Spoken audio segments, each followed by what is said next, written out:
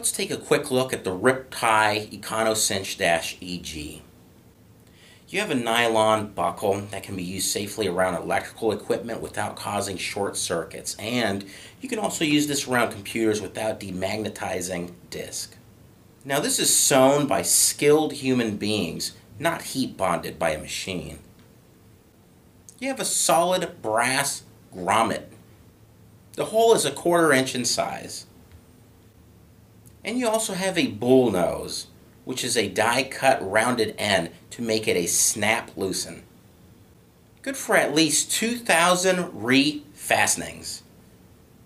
Available in 3 quarter inch width, 5, 7, and 10 inch lengths. 10 colors are available. Here's a quick look how to install it.